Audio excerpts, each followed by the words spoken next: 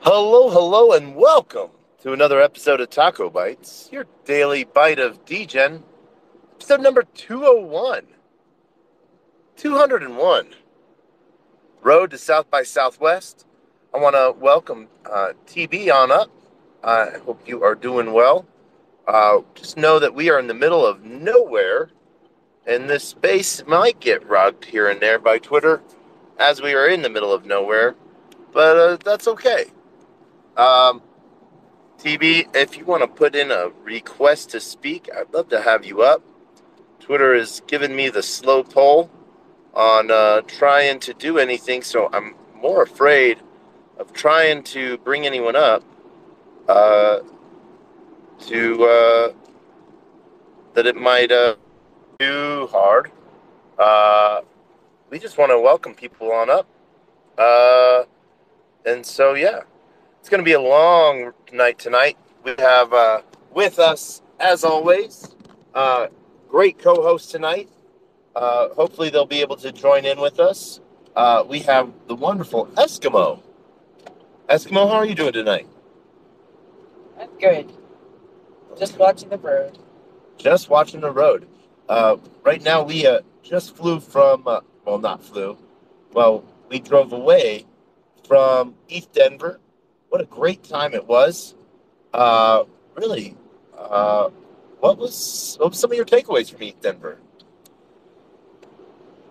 Uh, let's see. There are a ton of projects building. Yeah. What kind of projects did you did you get to see building out?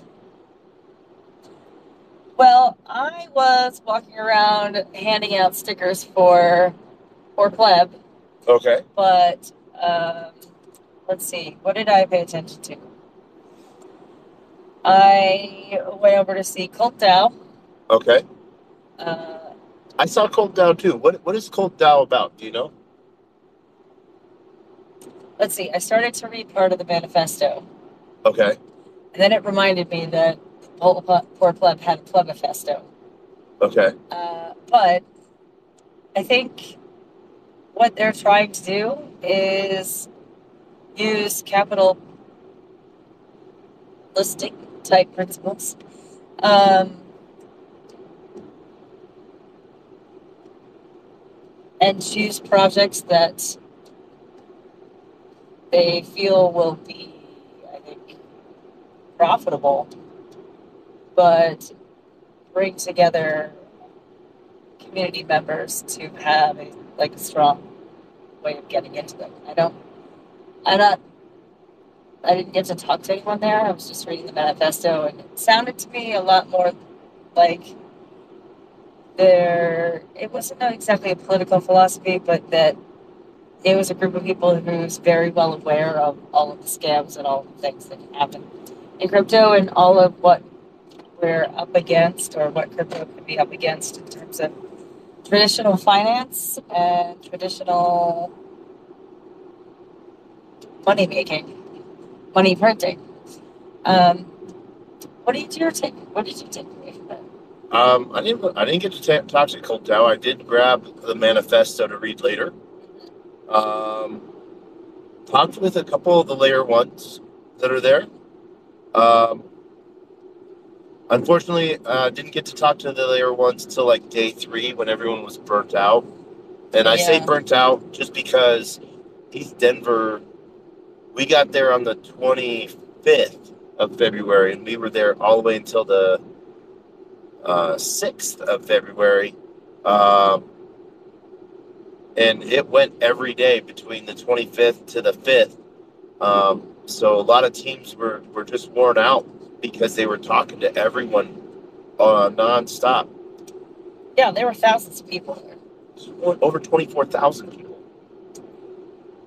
And I think that a smaller, ven- someone mentioned that there was a smaller venue last year. I know you had said that you liked it, but I did think that that venue was suitable for the amount of people that were there.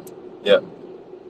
Um, it could handle the crowd without it feeling like you couldn't get anywhere or get by anyone. but it still felt like there were quite a few people there. Yeah. So last year, one of the main differences was like different protocols took over different buildings. So they had their own building. Like Near took over um, one one building, Harmony took over a building, Algorand took over a building, um, Unique took over a building. Uh, yeah, there was there was a there was a couple different things. One of, oh, one of the really cool things learning, Algorand is uh, making the, an EVM compiler. Oh yeah, you had mentioned that. And what's cool is, uh, so I know the founder of Algorand, PJ, and I actually ran into him later on.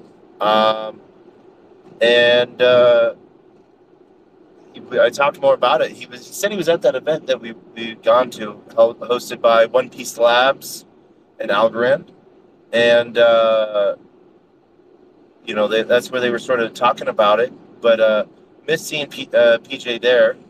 But uh, yeah, no, they're they're making a they have an EVM compiler out so that uh, smart contracts can run on Algorand and bridge over. Um, speaking of bridges, want to do a shout out to uh, family over at Swing.xyz. Uh, all your bridging needs in one place. Oh my god, I sound like a commercial at times. You can. I think you should keep it up. Okay, well, we are not sponsored by Swing, but Crypto Smooth Jazz. Crypto Smooth Jazz 101.4, actually 201.1. Uh, we are a mile marker. We we have uh, 36 miles to drive till we get gas. We're gonna keep going. We'll keep going after that. Um, but uh, I don't know. Uh, so others com- other conferences we went to. We went to Supermoon. Yep. Uh, At the clock tower. yeah. Um, we only got to listen to a, a couple of the pitches. Um, I know Vadim uh, from uh, oh, what is it? DexFi. He was talking about his new yield aggregator tool. Uh, so you don't need to go visit all the different dexes, but uh, it has it all in one place and works to optimize uh, without penalty all of your, all of your your dexing needs. Sort of like beefy, but uh, aiming towards more the higher reward, low risk pieces, um, which is pretty cool. There was a couple other projects there. Uh, didn't get to see them all, uh, but a huge shout out to Blue Dow uh, and TechStars. Um, glad that you guys were able to uh, get that there and showcase uh, all that TechStars does for founders within Web3. So that was pretty amazing. I wish I had seen that. I remember when we went to the Blue Dell event in New York, uh, listening to people talk about TechStars. Yeah. And it seemed like a good organization. I didn't know much about it before that. Yeah, no. Um, Techstars uh, based out of New York. There's a couple others uh, locations around around the globe. Um, almost like a WeWorks type of situation, but incubator. Uh, pretty cool. Um, founders become members, and then they they advise the new projects that come through. Um, got to run into uh, Amy and Miss Jess. Want to do a huge congratulations to you to winning all of your hackathons down in Bogota. Um, not sure how you did at uh, ETH Denver, but hats off to you. I know you probably, you know, rocked it. Um, there were some cool projects that won at ETH Denver. Uh, we got to listen to some of them at the end. Um, there was one that, that sort of was really cool. Was a non non internet connected wallet, so that it could do transactions and process transactions uh, without connection to the internet. Um, and uh, they even built it built a full working model for it. Oh yeah, I really like that. Um, the, the the takeaway from it that he said at the end was, "Do not use it, other than on testnet. You will most likely use, lose your funds." We created this since we only created this about three hours ago. yeah, yeah. They they got the working up three hours before uh, they they spoke. Um, but a huge shout out to all of those people that are doing those things. Um, you know, uh, missed, uh, got to talk at DAO Planet. Um, huge shout out to DAO Planet, DAO Denver, um, talking on the governance of, of DAOs with uh, Shelby, Alexa, MakerDAO, and Gamma. Oh man, I'm gonna mess this up. Gamma, Mega. I I'm going MGA DAO. Uh, that is all I remember off of that. Um, and uh, I don't know. It was a, it was a real honor to be able to talk there, um, talking on DAO governance, and uh, I was sort of the the curveball of the group.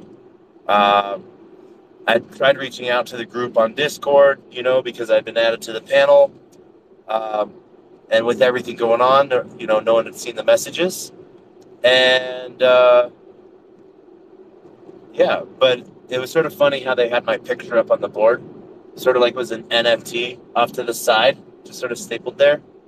I don't know. That was sort of funny in my eyes. Yes, I, I saw that. So They got you up there. they got me up You there. were up there. Yeah. Um, a huge shout out to Steve too. Helped out just a little, fill in some blank space. Um, but uh, ThriveCoin, Daniel from ThriveCoin, really, really nailed it out of the park with uh, his presentation on ThriveCoin, taking over uh, MakerDAO and also ApeCoin DAO, um, or Bankless. I think Bankless DAO and ApeCoin DAO. Yeah, I think he was using MakerDAO as an example of how, look how this can go not as predicted. Now, it, or not as hoped by early members of the DAO. Yeah. I think. Um,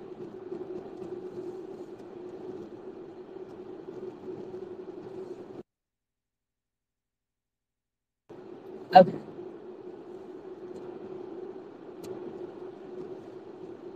What did you think about MakerDAO? No, I mean, I, I think he was using that as a cautionary tale. Oh, yeah. and saying that, you know, setting them up or how to, you know, how. I think the people that were up there had experience with how one had hoped, perhaps with rose colored glasses, to see this type of governance work and grow and prosper and be more democratic. And are now realizing that there needs to be either certain types of thinking or guardrails in place somehow uh, in order for things not to be taken over by whether it's a nefarious actor or simply somebody who wants to gain control of the DAO. Yep. And that sometimes the way it's been set up, it's been easy to do that. Yeah. Um, and I thought he was really honest about it. Yep. And honest about those those issues so that they can be worked on rather than, hey, this is all supposed to work out great. You guys are me. Yeah.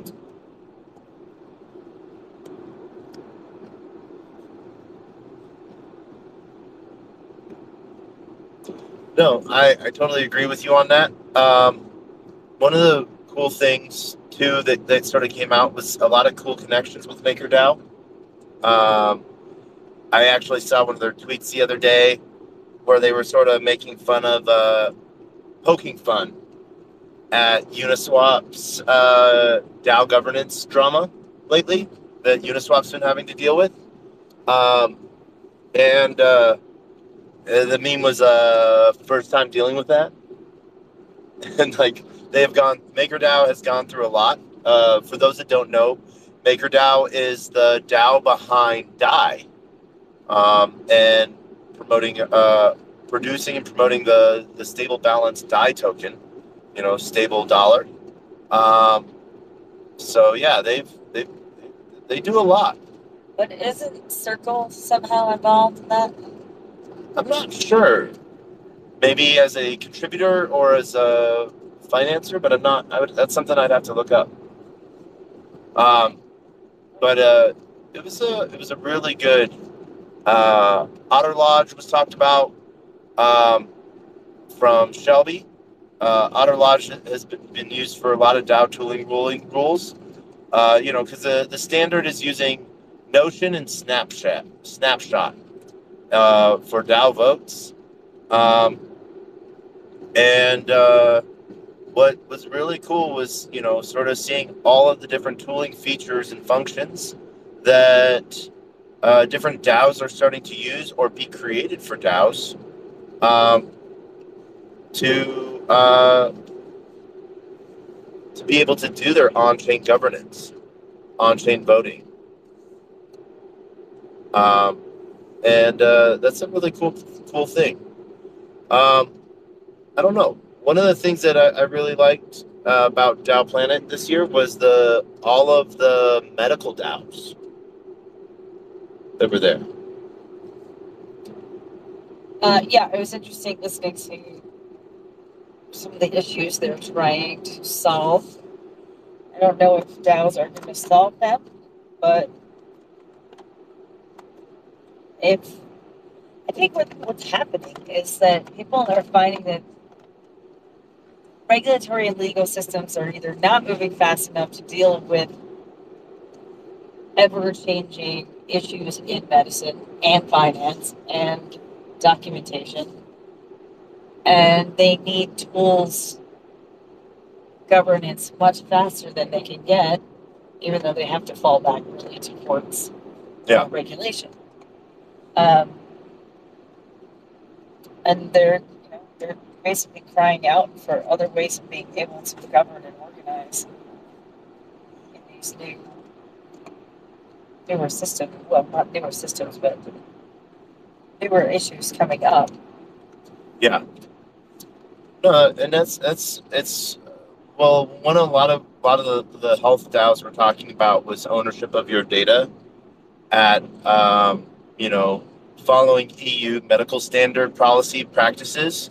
Yeah. Um, having your DNA as an NFT, even uh, that you can control who has access to and who's test, you know, what tests are being done on it, um, but also that you get to benefit from that. Um, and that's one of the really cool things, aspects of, you know, your own chain type of ideas. Not only your digital identity, but your your digital chain identity.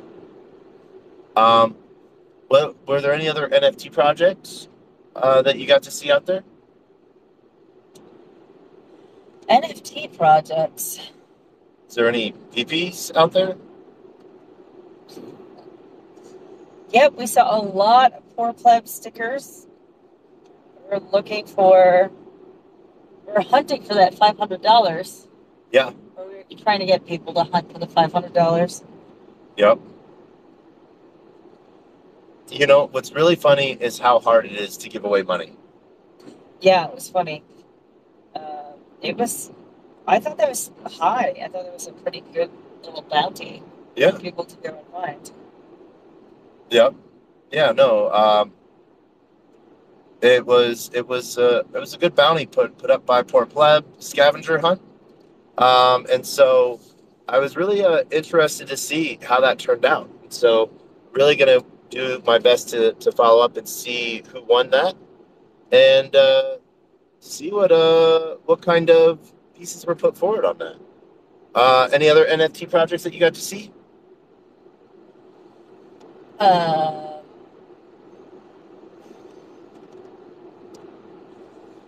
I'm trying to remember right now. The, the thing that's coming up for me is not an NFT project, it's Tellor, which I understand to be a competitor to Chainlink. Yeah. It's an Oracle. Yep. Um, but I think they do things differently and they are not, I think they're a bit more decentralized. But I need to read up a little bit further about how that works, Okay. how they're getting their data, and how, what it means, what, what it means for them to say that they're more decentralized. Yeah. Um, I know what I was. I was coming to mind when I was thinking of. Uh, MakerDAO was that MakerDAO complied with a court order and upgraded their contract to allow them to take funds from the hacker's wallet. This was, again, in response to the court order. Yep. So, uh, that was one of the things I was thinking about. And um, Remember that. I remember us talking about that, you know. Um, what are your thoughts on that?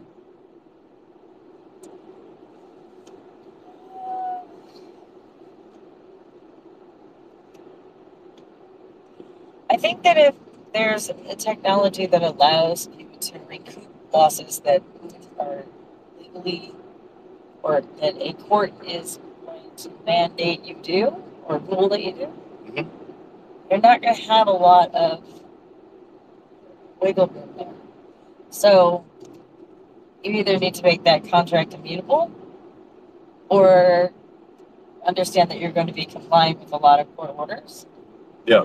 Or maybe there's another solution that really involves insurance, but I can see that that would wind up being really high cost of insurance.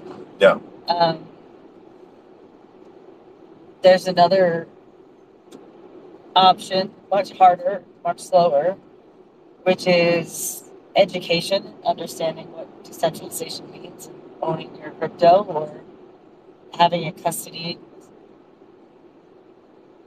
Mean, I it, it seems to me that large organizations are not going to custody their assets. They're going to contract. They're going to use some kind of preferred and or know regulated custody arrangement. Yeah. And and what are your thoughts on that? Like, what do you think custody arrangements could look like?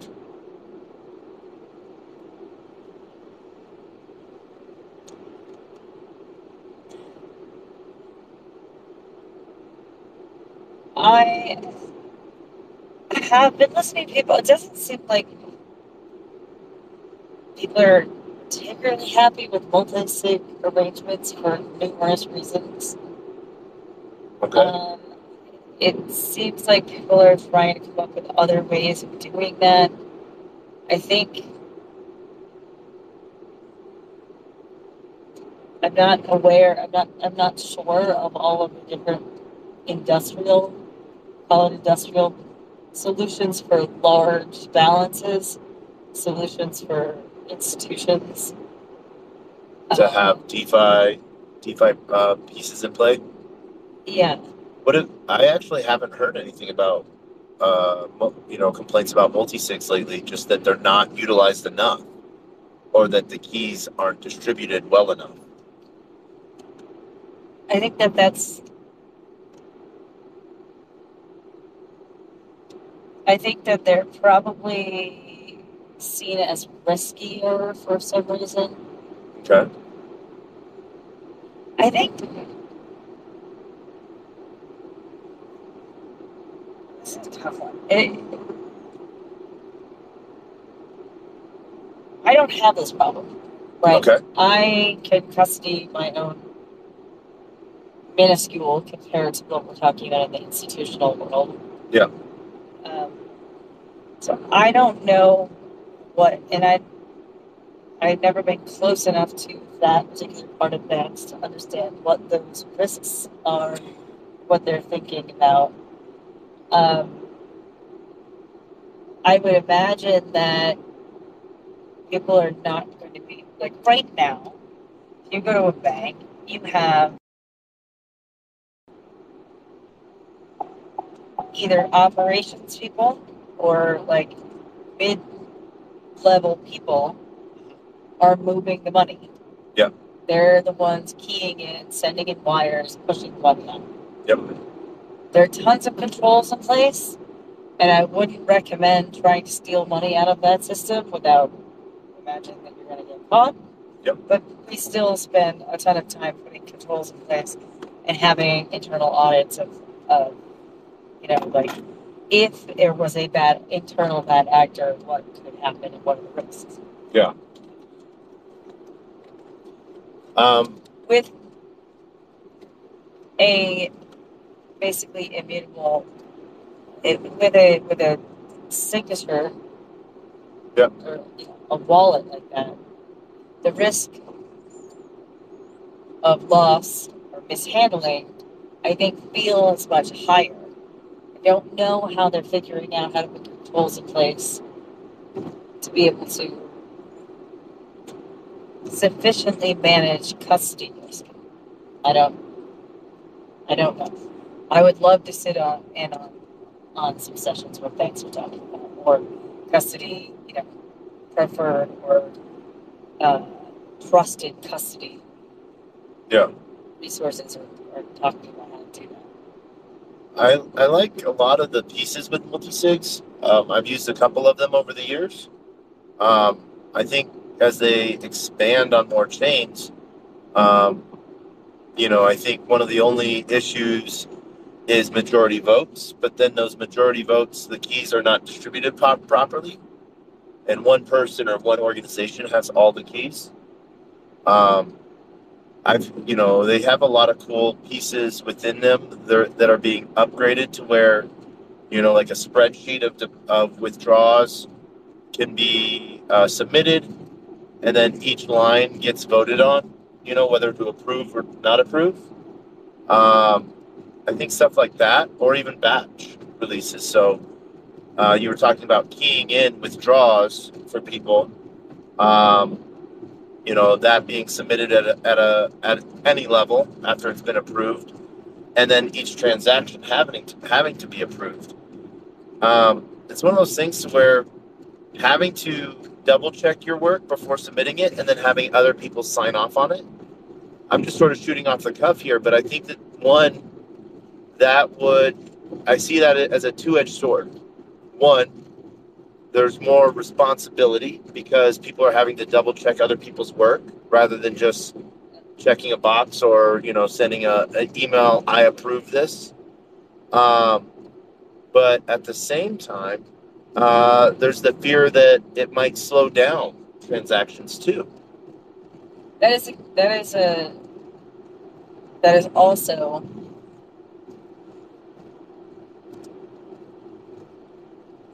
yeah that is also something that could be problematic.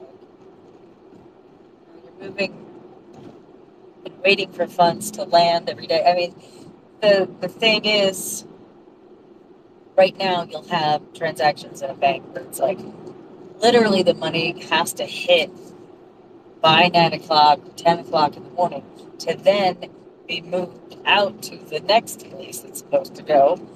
Uh, by three o'clock. Yeah. And, but then, you know, you, I mean, most of the time this goes okay, but a lot of, there's, there are times when money doesn't make it in.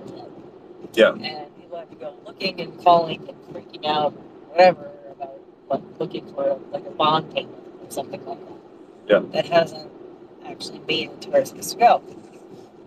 I don't know how the internal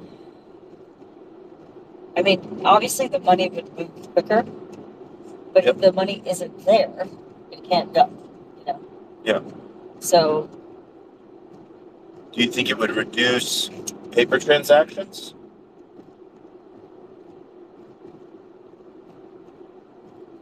I don't know. I mean, you, you right now. So crypto lives in a world where the books don't really close. Yeah. At least in the sense of uh, over the week whatever. But Yeah. the banking system does. You know, they have whether it's quarterly closes, weekly closes, daily closes. You know. Yeah. To be able to true up what what happened, and I don't. I wonder how. You know, for example, let's say I took that idea like a bond payment in. So you're getting the money, it needs to hit an account, and then it needs to be routed to the next place. What would that look like in a crypto world Yeah. And what does that mean for keys? And you, you know, people are going to have thousands of accounts that they're going to have to like be able to use keys for every day. Yeah. I don't know if that that doesn't seem feasible. I, I mean, banks like use like one account. It's the account I have a reference, you know. So it's one. It's interesting to me, like how how that would work. The money would come faster. Do you need to have those closings in that way that they have them now? Anyway, that's kind of going down rabbit hole. It's not really.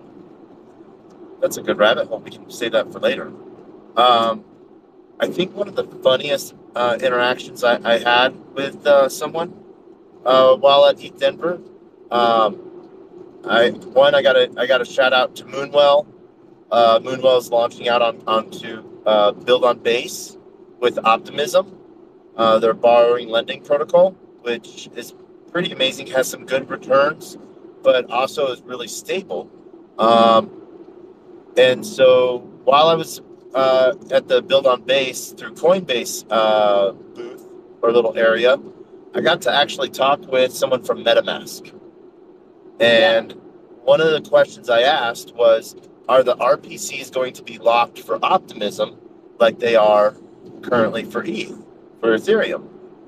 And uh, they they were like, no, they should they shouldn't be. And I was like, well, look at this. You can't change the RPCs for, uh, you know, your Ethereum. And you used to be able to. Used to be able to. And he knew exactly what version should, I should have. He was like, do you have 6.01?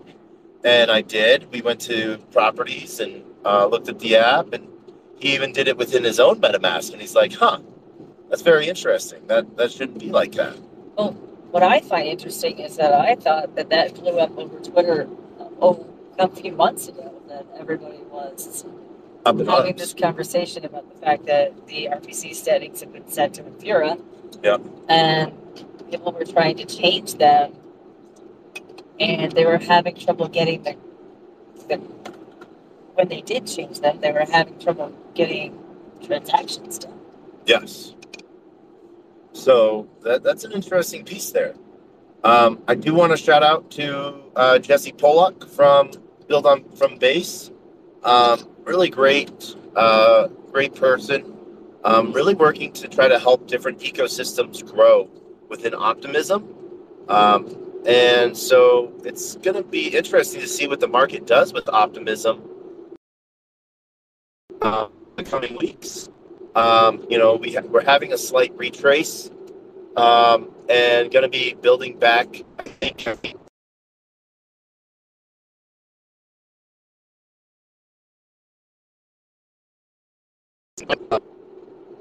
state where